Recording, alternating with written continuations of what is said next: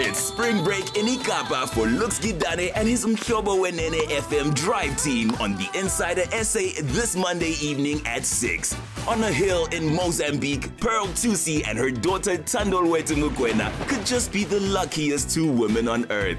And winter is so lost season as media personality Kim Jayde rocks her spring wardrobe. That's the Insider SA this Monday at 6, repeats Saturday at 1 p.m. on SABC3.